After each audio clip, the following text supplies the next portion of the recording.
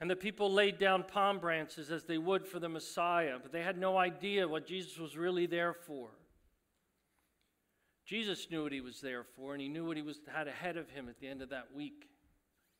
And that's what we're going to talk about today. We're in our series, Doors of the Bible. And if you've been with us, I think most of you have, we first started out with the ark door, that huge door that was built by Noah but couldn't have been closed by anyone but God. And he closed and sealed them in to protect them. You know, doors are very interesting things, as I've said. We take them for granted. We walk through them from space to space. We wouldn't be able to get out of a space if we didn't have a door. And we usually don't pay any attention unless it's a short door and we have to duck to get in it, or it's a huge door and we're just amazed by the size of the door. So there was a huge door on the side of the ark. But what was the main point? the main point of that story was that that door had to be shut by God, and He sealed Noah and his family in there. We then talked about the Passover door. Again, another door that's closed, and it was to keep the Israelites in and safe, just like Noah's family. But they closed this door and they smeared blood as a sign to the angel of death did not kill their firstborn. So it was a door, again, that protected them. Two weeks ago, we did the door. It was a door that caused separation, separation between man and God. Man couldn't be in God's presence, but it was a place for God to come and dwell with the Israelites. So that door separated them to protect them again from the glory of God that they couldn't come into the presence of. And last week we talked about a more humble door, the door of a shepherd. And the shepherd door, we called it, I called it. And really we looked at what does a shepherd do for his sheep? Because Jesus is the good shepherd, that's what he called himself. And a shepherd lays down his life for his sheep. He has to keep constant eye out on his sheep and make sure that uh, predators don't come and take the sheep away and to kill them. And even at night, he, lies, he would lie down across the opening to the pen so that nothing could get in there without going through him and they couldn't get out because, again, he was protecting them and keeping them safe.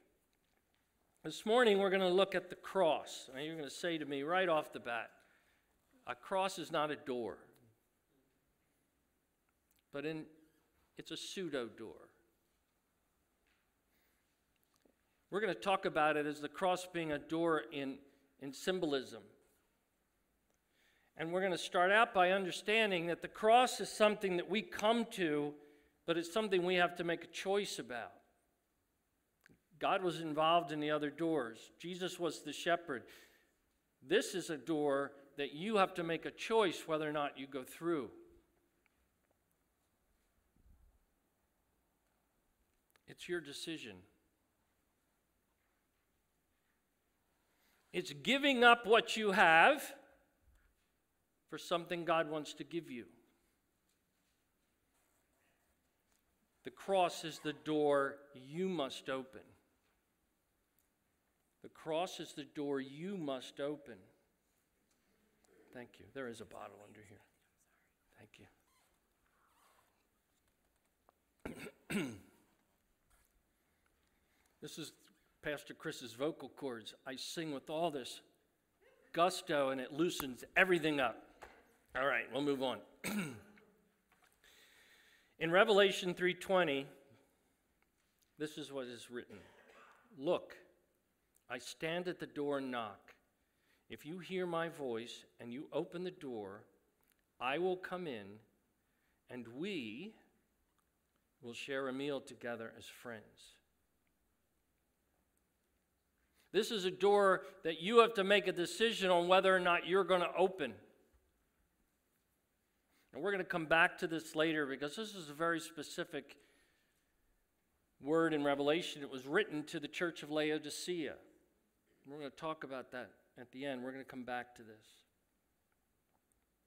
So, if we look at the cross as a door that you must open, then when we look at Mark 8, he says, Then, calling the crowd to join his disciples, he said, if any of you wants to be my follower, you must give up your own way, take up your cross, and follow me. That's kind of hard to understand, but if you know the story of Jesus, when he's heading to the, to the uh, Golgotha to be crucified, they made him on the back that had been whipped and is raw carry his own cross. At some point, he wasn't able to, and they got someone else to do it for him to take it up there. He carried his own cross, and he calls us, if we're going to open that door and accept the gift that he has for us on the other side of that door, he's asking us to carry our cross too. And what does that mean? That means denial of ourself. It means renouncing yourself and putting him at the center of your life.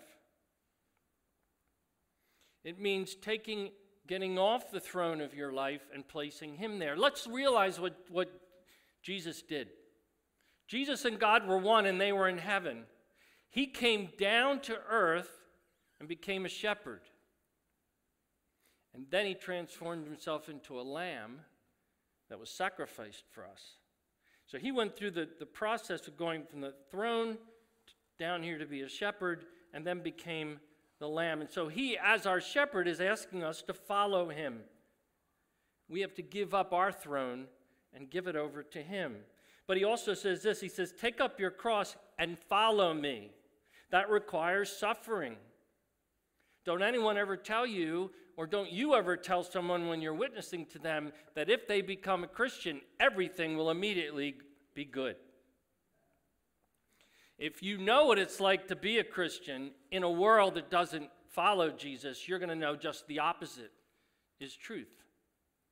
That the minute you accept Jesus, you are now an enemy of the world. Jesus said, They hated me, they're going to hate you also. That's not, a, that's not something you want to do as advertisement for being a Christian, but that's the, that's the truth. But what does God give you for that?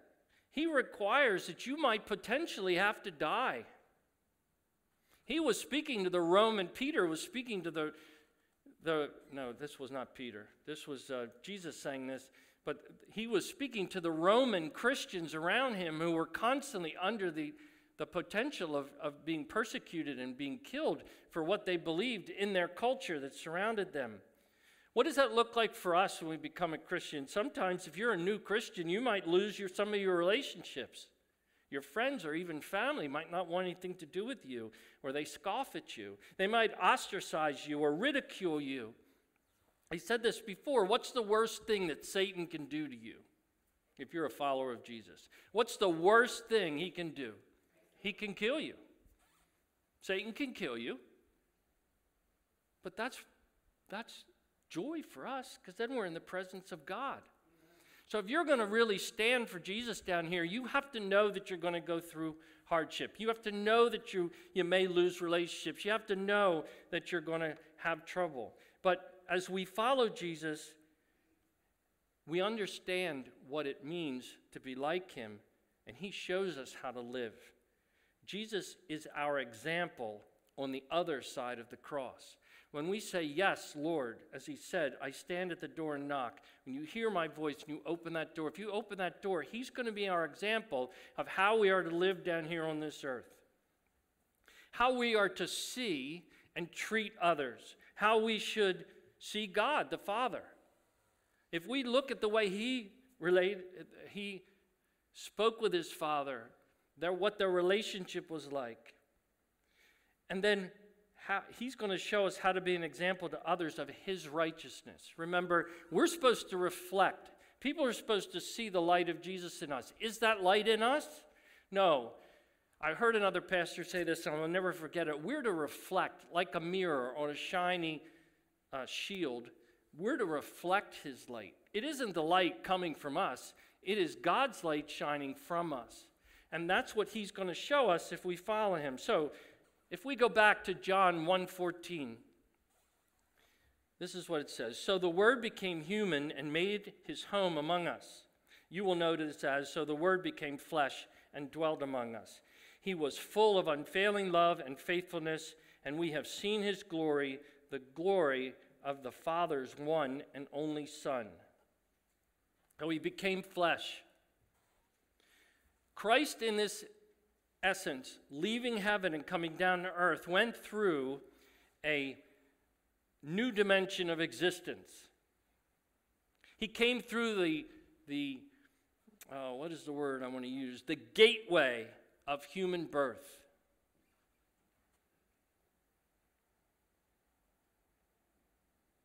He had to know what it was like to be like us. In order to save us, he had to be both human and God.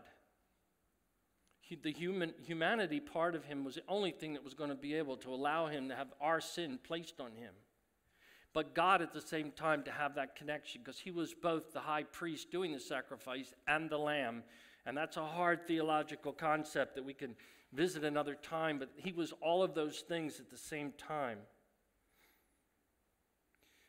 But he also said he became flesh, he became human, but he also dwelt among us. That means he made his home with us. He, he became a dwelling among us. Greek, it means to pitch a tent, it's a temporary place to live.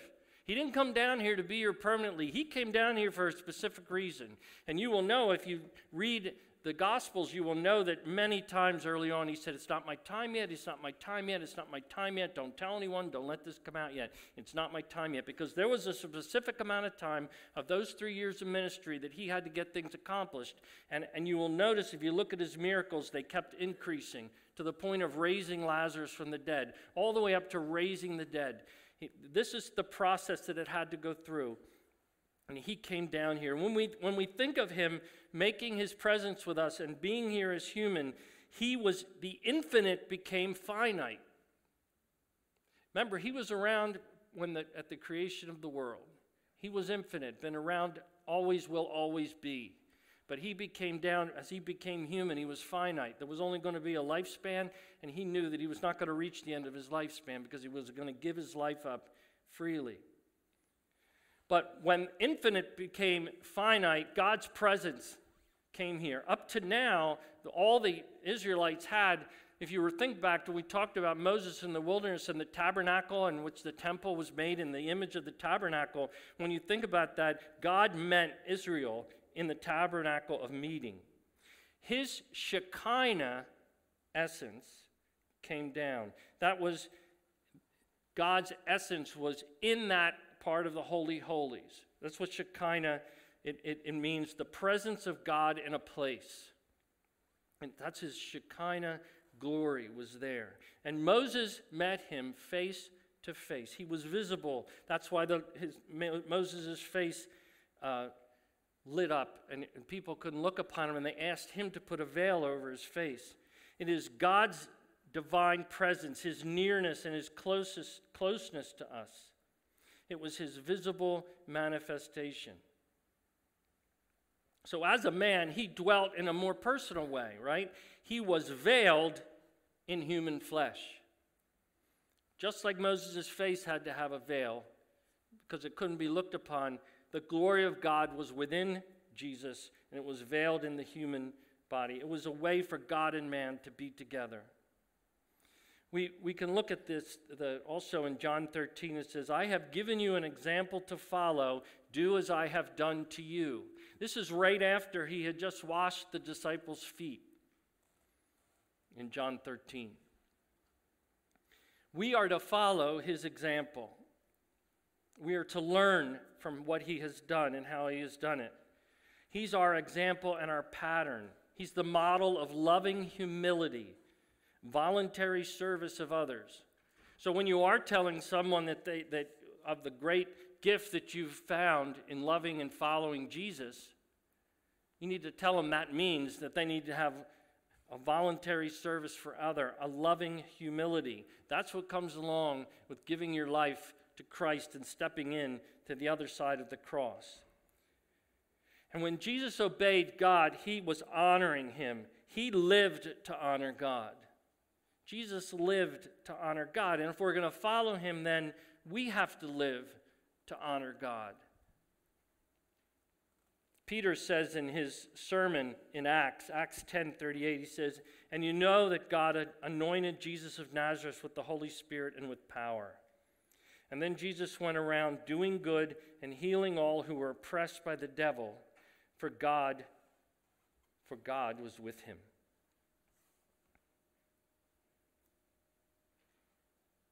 He was being a lifeline to those who were in need.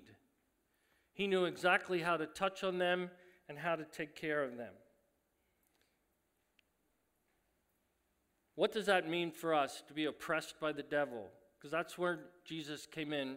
He helped those who were oppressed by the devil. What does that look like today? Is that people who are on drugs, who use alcohol, sexual temptation? I will tell you, ladies, if you don't know it, every man in this room is constantly hit with temptations every day, sexual temptations in the form of advertisements, things that pop up on Facebook. I'm not talking about pornography, I'm talking about there is no way to look at anything on social media and just advertise it that aren't enticing and lead you and lead you and lead you till you get to things like pornography or other sexual. That they are things that are going on today. How do we minister to people who are hopeless, who have mental illness, who how do we show them love, compassion, and caring? How do we show forgiveness to people? That's what it means to follow Jesus. That's what it means to imitate him and use him as our pattern. But not only did Jesus do what he did and live to honor God, he, he always sought to fulfill the will of God. Have you ever thought about the fact what would, it, what would have happened in the Garden of Gethsemane uh, in Luke 22 42, Father, if you are willing, please take this cup of suffering away from me. Yet I want your will. Remember, he only wants God's will. Yet I want your will to be done, not mine. What if Jesus had decided at that moment, which theologically he wouldn't because he was God and man and he came here specifically to die for us? But what would it have looked like if he had said, God, if you can take this away, if there's any other way that you can do this, please let it happen? And, and he got an answer, No, I want you to go. And he said, You know what? I, I'm, I'm not going to. Amen. We would have no hope. So you got to understand what he was saying take this cup of suffering from me. The cup is, is a symbol, it's a metaphor of his upcoming passion in Old Testament, the cup was a symbol of God's wrath. So the cup he's saying, if you can take this away from me that I'm going to have to take, it was God's wrath for our sin. That's what he was asking. Is there another way that this cup can pass from me? It's, it should be the desire. If, if Jesus' desire was to fulfill the will of God, what does that look like in our lives if we're going to fulfill the will of God? What is God asking you to do for Him? You don't have to yell out to me like Tom did, but you know in your mind what God's asking you to do for Him, who it is you're asking to speak to, He wants you to speak to for Him, who He wants you to help for Him. You know that. So I'm going to ask you are you listening? It's really easy for us to say, I, have told this story, and if I've told it here before, I don't think I have, but I went up to a Walmart one day and I went in, did my thing, and I'm coming out. It is pouring rain, and there's a man that kind of, I'll use a, a, tough word. He just came right up to me. I was going to say accosted me. He didn't accost me, but he came right up to me as I was coming out the door. He's, he's clothes are soaked. He has a backpack over his shoulder, and he asked me if I could give him a ride my immediate reaction, my knee jerk reaction, well, no, I can't. I'm, I'm heading somewhere else. And I got in my car. God beat me up so bad. He said, Go get that man and give him a ride. What is wrong with you? So I get in my car and I go up to the front of the building. He's gone. And back where we live, there's a main road that goes down. There was a long field went behind, and he had started walking in the pouring rain. I mean, it was like a the storm we had last night. It was just pouring. I drove down that road and picked him up and took him where he needed to do. But I didn't listen to God when he first told me. Now, when he, when he scolded me, I did. But how is God speaking to you? What is he asking you to do? He is going to take you and look, I want you to be taken into situations every single day where you know God placed you in that moment with that person for what He's asking you to do. And you saying, Yes, God. You should have a predetermined yes. You should say right now, I'm going to say yes to whatever God asks me to do. So when you get there, you don't have to debate it in your mind. You've already said, I'm going to do what God asks me to do. So if God's wrath was due for our sin and it was placed on Jesus, that's the whole reason he lived. He lived to carry our burden of sin. He lived to carry our burden of sin. Romans 8 1 says, So now there is no condemnation for those who belong to Christ Jesus. You have to have a deep understanding of who Jesus is before you're going to begin growing in your relationship with Him. It is not a get out of jail free card to accept Jesus. Say, now I can, I'm good. I'm not going to be held responsible for my sin. I can live my life now, and I'm covered. You are covered by his blood if you've accepted him. But if you accepted him, you actually placed your faith in him. It's not a prayer that saves you, it's a change of your life. It's putting your faith in him. Faith is what saved everyone in the Old Testament, Abraham, and everyone forward before Jesus. And it's faith in Jesus that saves us and in what he did for us. And so when we look at that, there is no condemnation. The opposite of condemnation is justification. And when you accepted Jesus, when you stepped through and you got to the other side of the cross and you look at what Jesus did and you try to pattern yourself after him, you are justified. Justified, you can remember justification. Justified is just as if I'd never sinned. Just as if I'd never sinned. Those of you who have been in church for a long time, you've heard that many times. But it's a good way to remember what that justification means. But you know what comes next is sanctification. Sanctification is the process you go through from the moment you're saved until the day you meet the Lord. And every day you should be growing closer to look more like Jesus. So when someone sees you, they see Jesus. None of us are ever going to reach that. So don't think there's a day you've gotten to that point. But you should be being transformed. And what I said earlier is you cannot begin to be transformed until you have a deep understanding and start to grow in grace and conformity to Christ. Hebrews 12:1 says this, "Therefore since we are surrounded by such a huge crowd of witnesses to the to the life of faith, let us strip off every weight that slows us down, especially the sin that so easily trips us up, and let us run with endurance the race God has set before us." You need to shed what's holding you back. You may be a believer, but you may not be running the race as well as you could be. What is it you're holding on to? What is it that you still have on the throne of your life? There's a weight of sin, the weight of pride, the weight of self sufficiency. You know what they are. You don't have to raise your hand when they apply to you, they apply to all of us. You have to take those off to fully run the race as God calls us to do. And what does a crowd of witnesses mean? Is it just all the people from the Old Testament and those who believed in God that are sitting there and watching us now? I'd like you to think of it more as a relay race. It's all those that have gone before us, and now they handed you the baton, and now you're running with it, and they're all watching the race. If you've ever been in a relay race, you know that the other members of the race, if they hand the baton off, watch their fellow racers go around cheering them on and telling them, Yes, go, let's go, let's go. That's what's happening for all of you as you're walking through your life.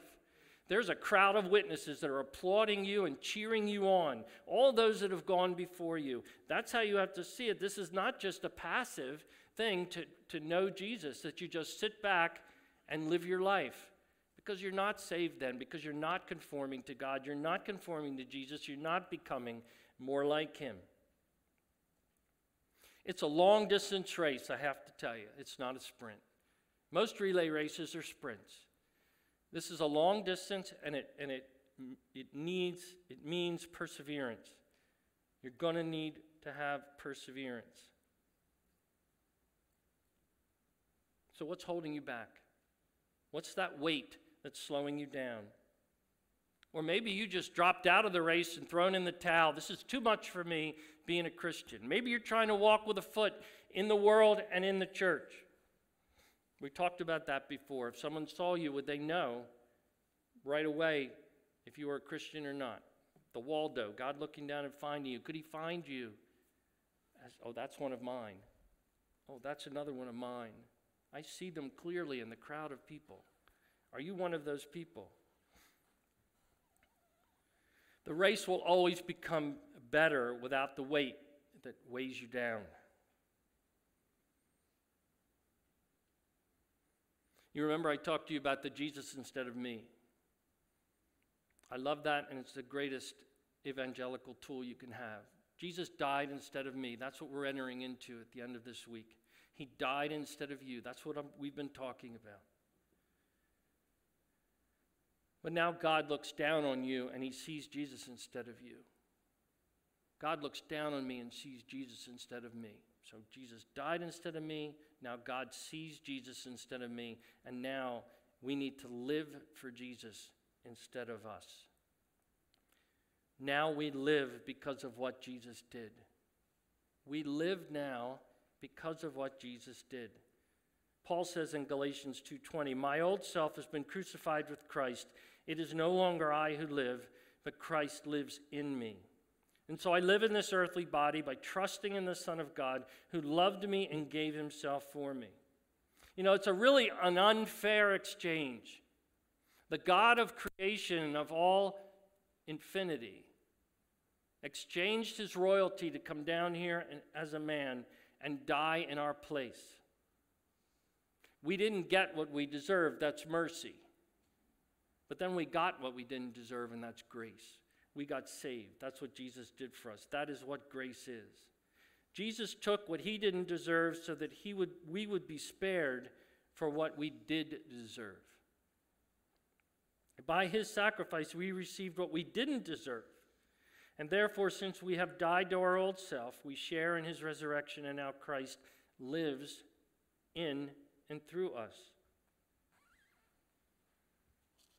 So, if he's living in through us, then we must walk through this life as he would.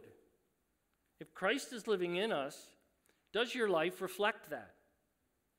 Now we walk because of what Jesus did. Now we walk because of what Jesus did. We need to stay on the path he laid out for us. Remember, a shepherd leads, he's our shepherd. We're to follow him. We're not to walk out in front of him. We're allow, we need to allow him to lead us. 1 John 2 6 says it this way Whoever says he abides in him ought to walk in the same way in which he walked. He patterned a way to go through life, how to see people, how to treat people with love and forgiveness. That doesn't mean that he, that he forfeited his holiness and his righteousness. At no time when Jesus was kind to someone, at the woman caught in adultery, or, or the woman at the well, or anyone that had had a life that had sin in it, was he ever condemning. He was always loving, but he always set them, and sin no more. Go on from this moment of forgiveness and sin no more. That's what he asks from us. Jesus' life is our pattern, and we're to live as he did. And how do we, we have to do that by the Spirit's presence and power in our lives. We have to have a life patterned after him. Colossians 2 6 says, And now, just as you accepted Christ Jesus as your Lord, you must continue to follow him. A life whose conduct, our conduct, conforms to our conversion. There's a lot of C's in that one. Our conduct conforms to our conversion. Is your life any different than the day you accepted Jesus? Has your thinking changed? Has how you see the world changed? Are you still holding on to what you think is right? Or are you looking to see what Jesus says is right? You know, if you study clearly the Sermon on the Mount and the blessed are they, all of those, as you peel away the skin of the onion, you find that they didn't mean anything like what we think they mean. Because on the surface, in our English language, they mean, blessed are they who. And what he said, each one was those who mourn. We think it's someone who's sorrowful. He wanted Israel to, to be weeping in sorrow for what they had done. So when he says, Blessed are they who mourn, he's talking about in their, their, their sorrow for the sin that they created and what they had done towards God. There, when you live your life, Jesus took everything that was in the law and turned it upside down on its ear. You say it's sinful to kill someone. Murder is, is, is not something you should do. But if you look on your brother and, with hatred, you killed him in your heart. Jesus took everything to what the true meaning of it was. And if you're going to live your life following his pattern, then you have to know what he did. You have to know what he did. We say, What would Jesus do? I say, What did Jesus do? It's all right here. It's all right here. If you want to know what your life should look like, and, and you could say in your mind, but, but Pastor Chris, that's God. Jesus was God. Come on, I don't have the power he had. I'm not all knowing. I can't read people's minds. I can't cause, heal people by touching them. You're right. We live in fallen bodies.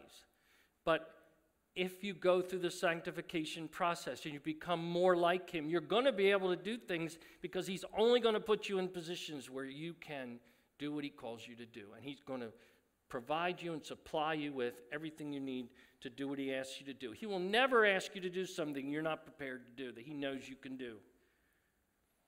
John 15, 7 says, But if you remain in me and my words remain in you, you may ask for anything you want and it will be granted. So 1 John 2, 6 says we need to walk in the same way that he walked. Colossians 2, 6 says now we need to follow him. And now John 15, 7 says we are to obey him. So you may say, wow, Pastor Chris just said, he took this verse and says, I can ask anything from God and he'll give me what I want. That's exactly what it doesn't say. Because I will tell you, if it requires obedience, so we need to walk, follow, and obey. To have Him grant your prayer, you need to be obeying Him and you need to submit yourself to Him. You need to give commitment to His word. And you know what will happen if you do that? If you obey and submit yourself, the prayers that you pray for something you need will only be within His will. You will know you only should be asking for what would be in His will. And you know what? God loves that and wants to give you what's in part of His will. He wants to. Because you know what? When people see answered prayer, that brings glory to God. So, for His will, your prayers will become more fruitful if you're obeying and you're submitted, and God will be glorified in the fact that He will answer your prayer because it's within His will. You're not going to ask for that new Mercedes that you want. I'm not saying that wouldn't be in God's will. I don't anticipate any of us are going to pray for a Mercedes and have it tomorrow.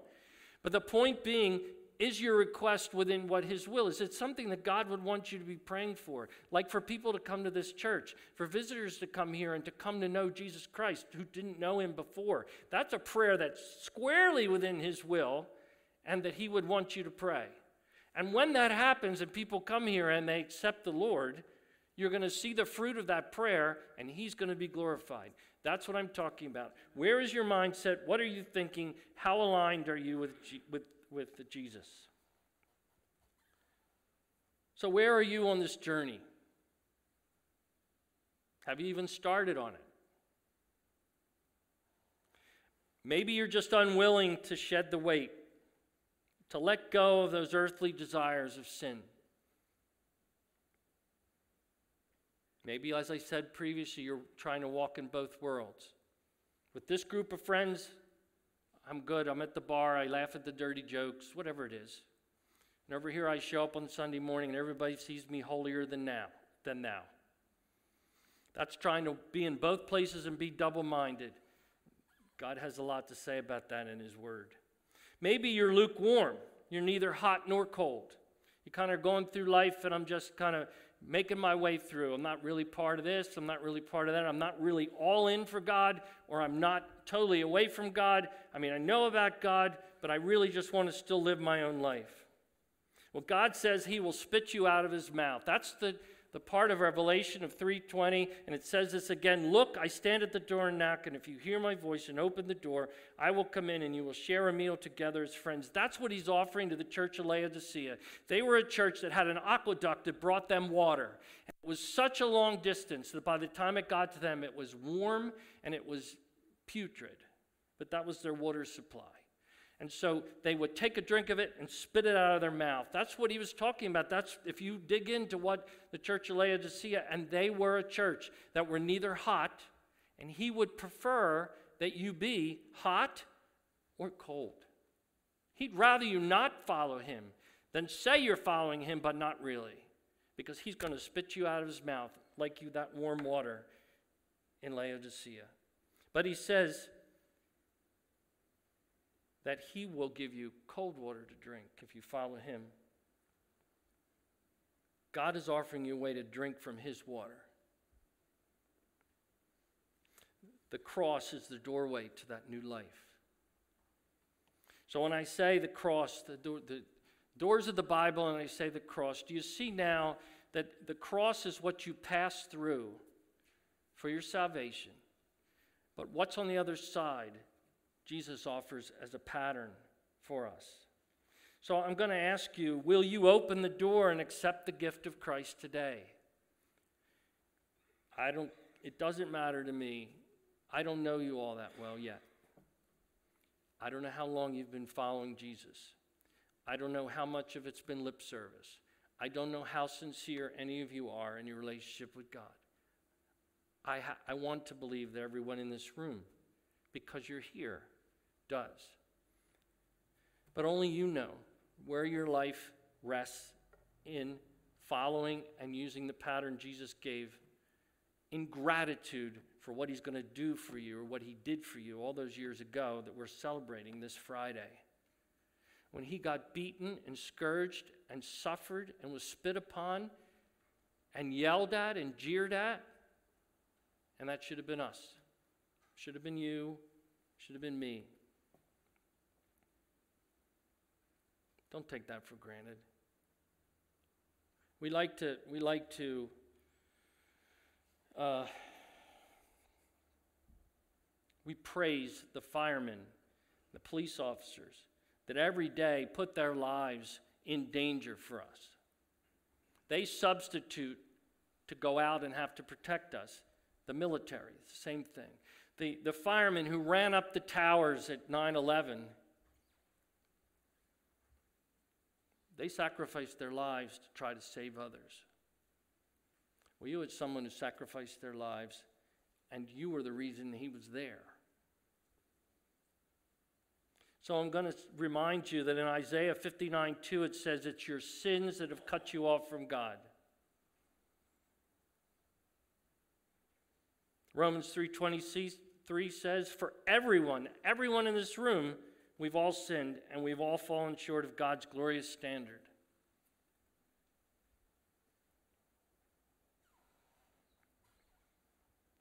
There was a penalty for that. 623 says the wages of that sin was death.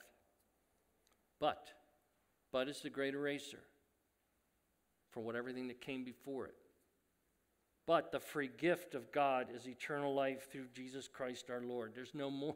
There's none better time than this moment coming up to Good Friday and the passion that he took, the cup that he took, the wrath of God that he took in that cup on that cross, that he's offering that to you. It's free to you, it wasn't free for him. He paid his life for it. So, what do you have to do? You have to openly declare that Jesus is Lord and believe in your heart that God raised him from the dead and you'll be saved. What's the most important word there? Underline it. In your heart. It has to be real. God knows whether it's real. Whether the person next to you believes it's real or not doesn't matter. It's, does, do you know it's real and does God know it? Do you have faith that what He just did to you, what He did for us, and we're going to celebrate this week? We're not talking about what comes after that because next Sunday we're going to talk about the assurance we have and what we have to look forward to because of it. But now let's just look at what he did for you. The pain, the suffering, the blood that was shed was all for you. Don't miss that. I was speaking to someone this morning about uh, Mel Brooks's movie. It was very, very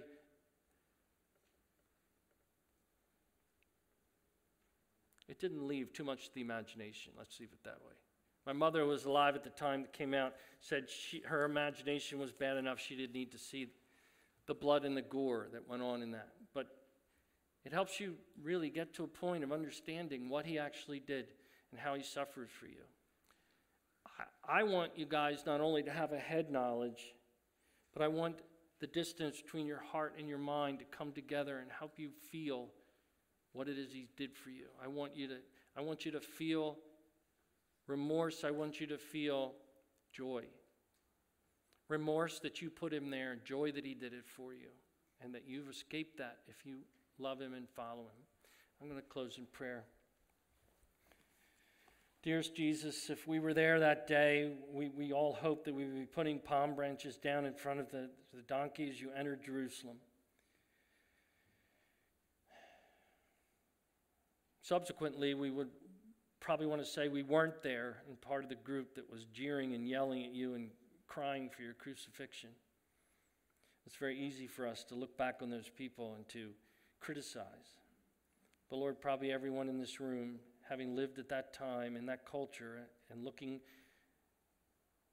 at what they were looking at, we may have all been doing the same things. We have to be quick to judge.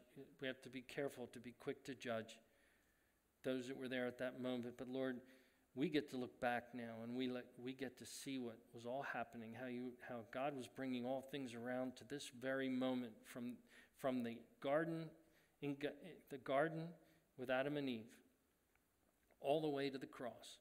You had a plan. And we're the beneficiaries of that. We can look back and see what you did for us, but we also have a responsibility that comes along with that, and that is to walk as you walked, walk in obedience, follow you, to love you, and to show others the love that you would show had you been standing right next to us. That's all we have to do is see what you did and do it ourselves. That's following and mimicking your pattern. I pray for anyone in this room, Lord, who's just not there, who might have weight that's holding them back, sin in their lives that they don't want to give up on, they don't want to let go of. And it's holding them back from fully taking joy in what you can give them here in this earth with expectation of being with you forever. If that's the case, Lord, or, or maybe there's someone here who, who has known you for many much time, but they've just gotten tired. They've thrown in the towel and they've stepped away from the race. Let the voices that are cheering them on, let our voices cheer them on and bring them back as you do the one sheep that wanders off. Lord, we love you and we praise you. We thank you, Lord. True thankfulness from our hearts for what you went through in our place. None of us here could have survived it, even to the point that you did. Yet you did it, and you're offering us the gift that comes from it because you went willingly, because you loved us. We thank you, Lord, and we praise you in Jesus' name. Amen.